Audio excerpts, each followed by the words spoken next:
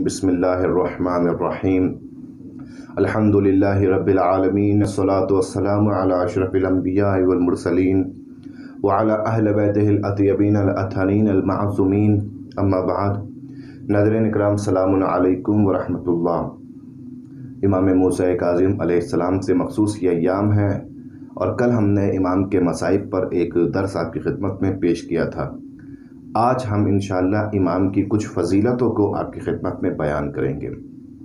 वाक़ इमाम मूसा काजिम सलाम भी उन तमाम फजीलतों के मालिक थे कि जो इनसे पहले बाकी इमामों को परवरदिगार आलम ने अता की थी। यानी इमाम का इल्म, इमाम की शुजात, इमाम का सब्र, इमाम का हिल्म, इमाम का अखलाक, ये तमाम सिफ़ात इमाम की वाक़ पैम्बर की सिफ़ात की मानंद थी। मौला अली की सिफ़ात की मानंद थी। और बारहा दुनिया ने इमाम मूसा काजिम सलाम की इन बरजस्ता सिफ़ात का मुजाहरा किया है। अजीज़ान मोहतरम, हम इमाम के कुछ शागिर्दों से देख सकते हैं कि इमाम किस मंजिलत पर फजीलतों की फ़ाइज थे कि जहाँ इमाम सलाम ने ऐसे ऐसे शागिर्दों को परवान चढ़ाया, कहीं अली इब्न यकतैन जैसा शागिर्द है। और कहीं पर इमाम मूसा काजिम सलाम के वो शागिर्द हैं कि जो इमाम की सीरत अमली को दुनिया में फैला रहे हैं, नशर कर रहे हैं। इमाम सलाम की जब हम ज़िंदगी को देखते हैं तो एक ऐसा सियासी दौर है और एक नए सियासी दौर की इमाम की ज़िंदगी में शुरुआत हो रही है। अब तक इमाम जाफ़र सदक तक खुलकर मौका था दीन की तबलीग करने का और मदरसा खोला इमाम सलाम ने और इमाम जाफ़र सदक सलाम ने इसकी तरवीज की। इब्तदाई तौर पर इमाम मूसा काजिम भी इस मदरसे का हिस्सा रहे और इस मदरसे में इमाम दर्ज देते थे और हज़ारों लोग उस दर्स से फैज़याब होते थे। लेकिन इमाम की ज़िंदगी में एक नया सियासी रुख देखा गया और वो रुख ये था कि अब इस के बाद से इमाम हुकूमत की निगरानी में ज़्यादा रहने लगे। इससे पहले हो, इमाम हुकूमत की निगरानी में रहते थे, लेकिन इतना नहीं रहते थे। इमाम खुल के अपना काम कर सकते थे। लेकिन यहाँ पर एक वक्त इमाम गुजारते हैं, जहाँ खुलकर इमाम एक मूसा कासिम अपना काम करते हैं, लेकिन बहुत मुख्तसर वक्त तक। उसके बाद फिर वो हुकूमत की निगरानियाँ शुरू होती हैं और अब बड़ी सख्ती इमाम के ऊपर आ जाती है और यहाँ तक ये सख्ती पहुँचती है कि इमाम अपने शागिर्दों को हुक्म देते हैं कि वो ज़ाहिर ना करें कि वो मेरे शागिर्द हैं। यानी ज़माना बदला, हालात बदले, हुकूमत बदली तो अब इमाम सलाम की हमत अमली भी बदल गई। अब इमाम खुद कह रहे हैं कि मेरे शागिर्द, आप ज़ाहिर ना करें कि आप मेरे शागिर्द हैं। अलीब ने यकतैन इमाम के शागिर्द हैं, लेकिन अलीब ने यकतैन से इमाम ने कहा कि ज़ाहिर ना करना कि तुम मेरे चाहने वाले हो या मेरे शागिर्द हो। बहलूल दाना शागिर्द हैं इमाम के, मगर बहलूल दाना से किस तरीके से कहा गया? कि बहलूल दाना ने अपनी ज़िंदगी को ऐसे गुजारा कि जैसे कोई दीवाना, कोई पागल है।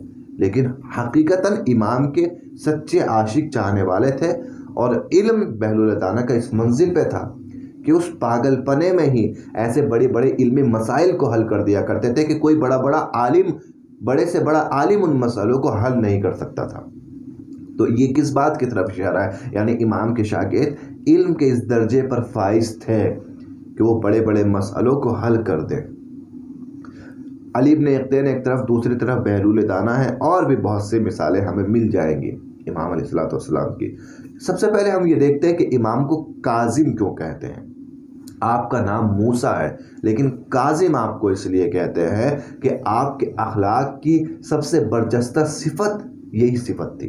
गुस्से को पी जाना, बर्दाश्त करना। गुस्से को पीना और बर्दाश्त करना। जैसे कुरान मजीद की आयत है वलकाज़मीन अलक़ैस वलाफ़ीना अनन्नास वल्लाहिबुलमोहसिन वो लोग जो गुस्से को पी जाते हैं, लोगों को माफ़ करते हैं और अल्लाह ऐसे मोहसिन को पसंद करता है। यकीनन इमाम की सिफत भी सबसे ज़्यादा बढ़ जाता सिफत यही सिफत थी ये इमाम इतने मराहल से गुज़रे और तरह तरह से इमाम को सताया गया, इमाम को अजियत दी गई, लेकिन हर दफ़ा इमाम ने अपने गुस्से पर काबू किया। और इस सिफत का मुजाहरा किया। तब जाके इमाम लोगों में काजिम के नाम से मशहूर हो गए। एक और मशहूर लकब इमाम का बाबुल हवाइज है, हाजतों का दरवाज़ा। कोई भी आपकी मुश्किल हो, परेशानी हो मसला हो, इमाम से तवसल कीजिए। इमाम काजिम को पुकारे, इमाम काजिम से तवसल करें। यकीनन इमाम काजिम के तवसल से परवरदिगार दुआओं को कबूल करेगा, क्योंकि ये बाबुल हवाइज हैं। अल्लाह अगर मौका दे तो काजमैन जाएँ और इमाम की ज़्यारत करें। लेकिन अगर नहीं जा पा रहे हैं तो अपने घर में इमाम की ज़्यारत पढ़ें और उसके बाद दुआ करें इमाम के वसीले से कि परवरदिगार हमारी मदद कर। यकीन इमाम के वसीले से दुआएँ मुस्तजाब होंगी। एक वाक़ इमाम की फजीलत का। आप ये खिदमत में बयान करते हैं, इमाम की इल्मी फजीलत एक तरफ़ और दूसरी तरफ़ इमाम की अमली फजीलतें। अमली फजीलतों में जब हम देखते हैं तो एक ऐसे मसले को पेश किया गया इमाम के सामने बार बार पेश किया गया कि जो मसला इससे पहले काबिल शुदा था कबूल शुदा था, उस मसले को पेश किया गया और ऐसा पेश किया गया कि ये मसला जो कबूल कर लिया था लोगों ने, गलत कबूल किया था। इमाम फर्जंद रसूल नहीं है। ये शुबा छोड़ा गया लोगों में कि इमाम फर्द और ये शुबा ईजाद करने वाला खुद हारून रशीद। बार बार एक ही सवाल इमाम से, कि आप कैसे फर्जंद रसूल? आप कैसे आले मोहम्मद? आल और नस्ल का ताल्लुक बेटे से होता है, बेटे से नस्ल चलती है। और आप बेटी के औलाद हैं। आप रसूल खुदा की बेटी के फर्जंदों में से हैं। और आप ख़ुद को आले मोहम्मद कहते हैं। आप ख़ुद को आले अली कहा करें? बार बार एक ही मसाला बार बार एक ही बात इमाम की खिदमत में पेश की जाती है। इमाम ने इस बात के ऐसे मुदल जवाब दिए हैं कि वाक़ वो जवाब हमारे लिए भी काबिल गौर है। पहली मरतबा जब इमाम सलाम के सामने इस मसले को पेश किया गया कि ये अपना कि ए इमाम, ये बताएँ कि आप कैसे फ़र्जंद रसूल हैं? जबकि आप बेटी की औलाद में से हैं और बेटी की औलाद फ़र्जंद शुमार नहीं होती, नस्ल शुमार नहीं होती। इमाम सलाम ने कहा कि तुमने कुरान पढ़ा है। कहाँ मैंने कुरान पढ़ा है? कहा कुरान मजीद में जनाब ईसा को नूह की ज़रूरियत में बताया गया है। क्या ये आयत पढ़ी है? कहाँ ये आयत मैंने पढ़ी है? कि जनाब ईसा को नूह की ज़रूरियत में बताया है, परवरदिगार आलम ने। अब कुरान मजीद से तो किसी को इनकार नहीं हो सकता। अब इमाम इमाम काजिम कहते हैं, ये बताओ, क्या जनाब ईसा के कोई बाप थे? क्या जनाब ईसा के बाप मौजूद थे? का नहीं जनाब ईसा को अल्लाह ने बिना बाप के पैदा किया था। का इसका मतलब जनाब ईसा का ताल्लुक जो आबा अजदाद से जुड़ता है, वो माँ के ज़रिए से जुड़ता है, जनाब मरियम के ज़रिए से जुड़ता है। क्यों? क्योंकि यहाँ बाप मौजूद नहीं है, फ़कत माँ मौजूद है। और इसी माँ से मुतल होकर जनाब ईसा ज़ुर्रियत नू में शामिल होते हैं। कहा, बिल्कुल सही। है कहा, जब ईसा मरियम के वसीले से ज़ुर्रियत नू में शामिल हो सकते हैं तो हम फ़ातिमा जहरा के वसीले से ज़ुर्रियत मोहम्मद में शामिल क्यों नहीं हो सकते? और ये वाक़ ऐसा जवाब था कि जिसके सामने सिवाय सर को झुकाने के किसी के पास और कोई रास्ता नहीं था। फिर दूसरा जवाब भी दिया। दूसरा जवाब क्या था? दूसरा जवाब ये था कि ये बताओ, क्या मुबाहला पढ़ा है? कहाँ पढ़ा? क्या मुबाहला में बात क्या थी? बात यही तो थी कि रसूल ने कहा था, तुम अपने बेटों को लाओ, हम अपने बेटों को लाएँगे। यहाँ पर रसूल चाहे किसी को लेके ना जाते। किसी को ना लेके जाते। काली को ले आए, फातिमा को ले आए, काफ़ी है। मेरे बेटा कोई है ही नहीं, अगर बेटा होता तो लेकर आ जाता। मगर रसूल बेटों की उनवान पर हसन हुसैन को लेके जा रहे हैं। इसका मतलब मुबाहले का मैदान गवाही दे रहा है कि हसन हुसैन ज़ुर्रियत पैगंबर है, आले मोहम्मद हैं हसन हुसैन। क्यों? क्योंकि अगर आले मोहम्मद ना होते तो मुबाहले में लाना सही ना होता रसूल का। और कोई रसूल गलत अमल अंजाम नहीं दे सकते। रसूल अगर मुबाहले में लाए हैं, इसका मतलब हसन हुसैन ज़रूरीत पैगंबर में से है। फिर दोबारा एक मरतबा मदीने में जाता है, हारून रशीद रसूल खुदा की कब्र पर सलाम करता है, इस तरीके से सलाम करता है। किस तरीके से? अस्सलाम यबनल अम। ए मेरे चचाजात आप पर सलाम। हो यानी रसूल खुदा को अपना चचाजात भाई मुखातिब करता है। आप देखें अजीज़ान मोहतरम, ये बनी उमैया, बनी अब्बास से है, हारून रशीद बनी अब्बास से है। और उसके बाद में यहाँ दूसरी जो नस्ल चल रही है, कुरैश बनी हाशिम से नस्ल चल रही है। ये ये समझता था कि हम जाकर सिलसिले, नसब हमारा रसूल खुदा से जुड़ता है एक तरीके से। लिहाजा हम चचाजाद भाई हुए रसूल खुदा के, क्योंकि नस्ल जो थी एक नस्ल चल रही थी बनी अब्बास की ऊपर से और एक ये नस्ल चल रही थी बनी हाशिम की। मगर जैसे ही ये कहा, लोग हैरानी से देखने लगे। लोगों की वाह वाह चाहता था, लोगों की तारीफ़ चाहता था कि लोग मुझे रसूल का भाई कहें। मगर यहीं एक शख्स खड़ा था जिसने सलाम करा रसूल को और ऐसे सलाम करा, अस्सलाम या अबी, ए मेरे बाबा, आप पर सलाम हो। अब एक शख्स खड़ा है हारून रशीद, कि जो चचाजात खुद को कह रहा है रसूल का। और एक शख्स खड़ा है इमाम कासिम, जो कह रहे हैं वालेकुम या अभी मेरे बाबा, आप पर सलाम हो। तो अब लोग किसको ज़्यादा इज़्ज़त देंगे? लोग बेटे को ज़्यादा इज़्ज़त देंगे कि भाई ये बेटा है और ये अपना बाप रसूल को कह रहा है तो फ़ौरन हारून बिगड़ जाता है, कहता है, आप कैसे बेटे हो सकते हैं?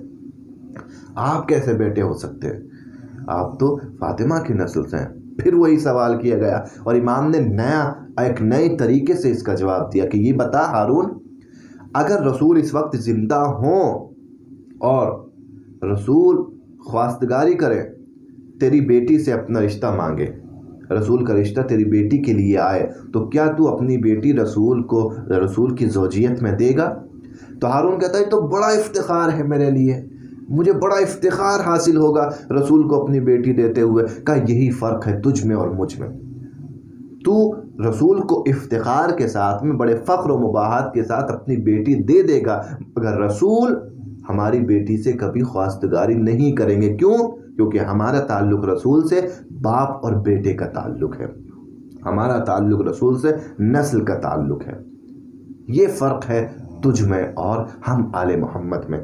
कई मरतबा इमाम ने इस बात का इजहार किया कि इसके बाद कभी क़यामत तक ये मसला ही ना उठे कि औलाद रसूल इमाम हैं या नहीं हैं। ये एक बात अजीज़ा ने मोहतरम। और दूसरी भी बहुत सारी फजीलतें इमाम सलाम की अब ज़िंदगी इमाम की पढ़ें। यकीन दामन वक्त में गुंजाइश नहीं होती है, बहुत कम वक्त मिल पाता है, वरना इमाम की ज़िंदगी में कितनी ऐसी बातें मौजूद हैं कि जिससे हमें इमाम की मारिफत बेहतर तरीके से हो सकती है, इमाम काजिम सलाम की। इमाम की मारिफत के लिए इमाम ये अली बिन यकतीन की ज़िंदगी को पढ़ें। अली बिन यकतीन मसलहता हुकूमत में हैं और हुकूमत में एक अहदे पर हैं।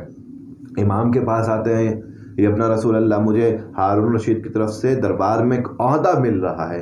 क्या आप इजाज़त देंगे कि मैं वो अहदा कबूल कर लूँ? पैगाम देखिए, पैगाम, हर चाहने वाले के लिए पैगाम, इमाम मूसा काजिम का पैगाम। यबन रसूल अल्लाह अली बिन यकतन, क्या आप इजाज़त देते हैं? मैं वो अहदा कबूल कर लूँ का इजाज़त देता हूँ, मगर एक शर्त पर इजाज़त दूँगा। कोई हमारा चाहने वाला तेरे पास आए तो उसे खाली हाथ नहीं लौटाएगा। ए वो लोग कि जिन्हें परवरदिगार आलम ने अहदा दिया है, कोई मनसब दिया है, आज भी। चाहे किसी भी अहदे पर हो, किसी भी मनसब पर हो, परवरदिगार आलम ने एक अहदा दिया हो आपको। कोई मनसब दिया हो, कोई मकाम दिया हो, कोई इज़्ज़त दी हो, कोई कारोबार दिया हो, ये इमाम मूसा काजिम की दुआ है आपके ऊपर। जिस वजह से आपको ये अहदा मिला है। अगर ये अहदा मिला है तो आपके लिए भी इमाम मूसा काजिम की शर्त है। ये फ़कत अली बिन यकतैन के लिए शर्त नहीं थी। हर उस चाहने वाले के लिए कि जिसे कोई अहदा मिल जाए, इमाम की शर्त है कि जब भी आपकी खिदमत में इमाम का कोई चाहने वाला जाएगा तो उसके साथ में ऐसा बर्ताव ना करें कि उसे खाली हाथ लौटा दे। इमाम, ये शर्त अली बिन यकतैन को नहीं, हर चाहने वाले को बता रहे हैं। अली बिन यकतैन कबूल कर लेते हैं। कबूल है, अपना रसूल मैं किसी चाहने वाले को नहीं लौटाऊँगा और उधर कुछ ही रोज़ बाद इमाम की खिदमत में एक शख्स आता है, इब्राहिम शतुरबान, और अपनी शिकायत इमाम से करता है। अपने हालात को पेश करता है कि अपना रसूल अल्लाह बड़ा मोहताज हूँ, फ़कीर हूँ, ये हालात मेरी हैं और मेरी मदद कीजिए, इमाम ने कहा, मेरे पास कुछ नहीं है, हमारा चाहने वाला अली बिन यकतन हुकूमत में उससे मख्फी तौर पर मिलना और उससे कहना कि मुझे मूसा काजिम ने भेजा है। ये इब्राहिम अली बिन यकतैन के पास जाता है। मगर अली बिन यकतैन मिलने से मना कर देते हैं। मसरूफियत की वजह से बेतवजही की वजह से कोई भी वजह रही हो। मगर अली बिन यकतैन इब्राहिम से नहीं मिलते। इब्राहिम इब्राहिम अफसोस करते हुए वापस इमाम के पास जाते हैं कि यबना रसूल अल्लाह अली बिन यकतैन ने मुझसे मुलाकात नहीं की। अली बिन यकतैन ने मुझसे मिलना कबूल नहीं किया। अब इमाम एक रोज़ हज पर जाते हैं, खान काबा का तवाफ़ कर रहे होते हैं कि अली बिन यकतैन भी मिल जाते हैं वहाँ पर। और इमाम की खिदमत में आने के बाद अदब से कहते हैं, अस्सलाम का यबन रसूल अल्लाह और इमाम फ़ौर अपने मुँह को फेर लेते हैं। शायद कहते हैं कि मुझसे कोई गलती हो गई होगी, दोबारा दूसरी तरफ़ जाके कहते हैं सलाम का या इमाम। दोबारा इमाम अपने मुँह को फेर लेते हैं।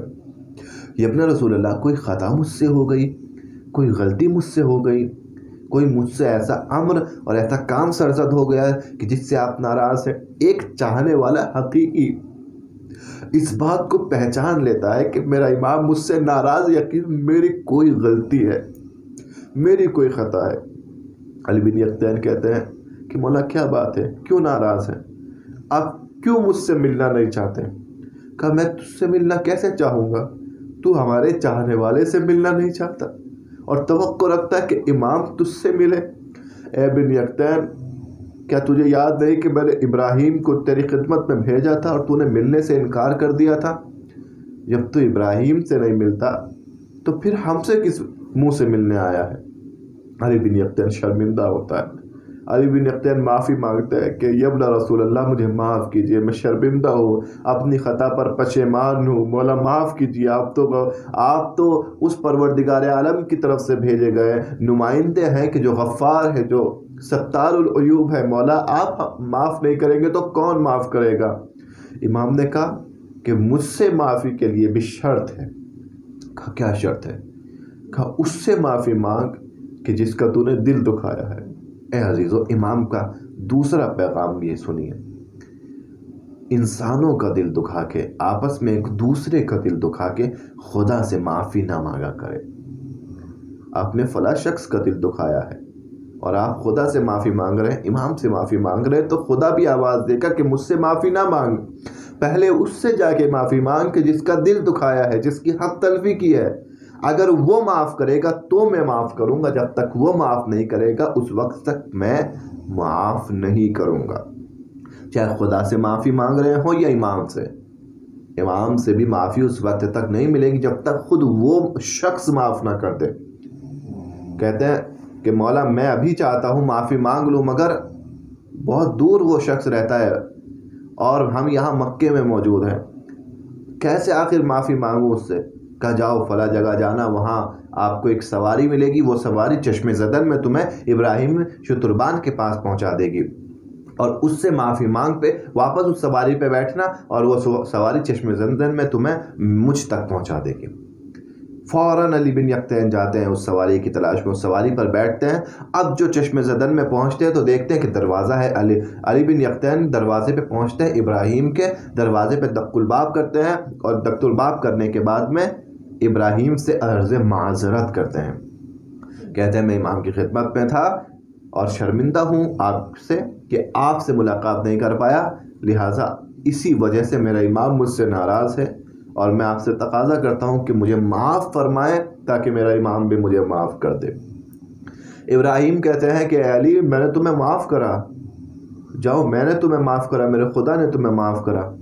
मगर अली अली बिन यकतैन मुतमिन नहीं होते। कहते हैं कि कोई सबूत चाहिए, कोई सबूत होना चाहिए कि तुमने मुझे माफ़ कर दिया। का क्या सबूत दूँ? एक मरतबा बिन यकतैन अपने एक रुखसार को ज़मीन पर रखते हैं और दूसरे रुखसार को एक मरतबा ऊपर की सिमत करके कहते हैं कि, ए इब्राहिम, अपने पैर को, अपने कदम को मेरे इस रुखसार पे रख दो ताकि आपके कदम के निशान, आपके कदम की खाक मेरे रुखसार पर आ जाए और मैं ये निशान जाके अपने इमाम को दिखा दूँ, ताकि मेरे पास कोई सबूत हो। इब्राहिम अपने कदम को रुखसार अली बिन यकतैन पर रखते हैं। अब यहाँ से अली बिन यकतैन खुदा हाफजी करते हैं और इमाम की खिदमत में जाते हैं और इमाम को अपना वो रुखसार दिखाते हैं। ये अपना रसूल अल्लाह काफ़ी है। मैंने माफ़ी मांग ली अली बिन यकतैन से। ये मौका कि जब इमाम काजिम अली बिन यकतैन को गले से लगाते हैं, सीने से लगा लेते हैं वाक़ तू हमारा चाहने वाला है। ऐसे होने चाहिए इमाम के वाक़ चाहने वाले। जब माशरे में ऐसे लोग परवरिश पाएँगे, तब जाके माशरा हुसैनी माशरा बनेगा, तब जाके माशरा अलवी माशरा बनेगा, जब जाके माशरा महदवी माशरा बनेगा। लेकिन यहाँ अगर हमें अपनी अपनी फ़िक्र रहे और हमें दूसरों की नाराज़गी का, दूसरों की हक तलफी का कोई ख्याल ना हो तो इमाम हमें सीने से लगाए बहुत दूर की बात है। इमाम हमारे चेहरे को देखना भी कबूल कर ले। ये भी शायद गनीमत होगी। इमाम शायद हमारे चेहरों को ना देखें, हमारे अमाल की वजह से। अजीज़ान मोहतरम, इमाम चाहते हैं ऐसा मुआशरा कि जिसमें अली बिन यकतैन जैसे लोग रहते हों, जिसमें बहलूल दाना जैसे लोग रहते हों, जिसमें शतीता जैसी इमाम की चाहने वाली रहती हों। ऐसे लोग चाहते हैं इमाम अलैहिस्सलाम इन मौका रहा तो बताएँगे आपकी खिदमत में कि शतीता के जो यहाँ निशापुर में मौजूद थी मशहद में मौजूद थी मशहद के पास में। मगर क्या अमाल उसके थे? कैसी चाहने वाली थी वो शतीता कि एजाज इमामत से इमाम उसके जनाजे में आते हैं और इमाम दफन करते हैं उसे। और उसे कहते हैं कि शतीता, मेरी चाहने वाली और सच्ची चाहने वाली है। कैसी कनीज थी शतीता इन कभी मौका रहा तो शतीता की दास्तान आपकी खिदमत में पेश करेंगे इन शाह परवरदिगार, तुझे वास्ता इमाम कासिम सलाम का, इमाम की शहादत के अयाम है। हमें इमाम का सच्चा और अच्छा और वाकई आशिक बना। परवरदिगार, इसी तरीके से हमारे वक्त के इमाम को हमसे रासी खुशनूद फरमा। वसलम वरहमल वर्का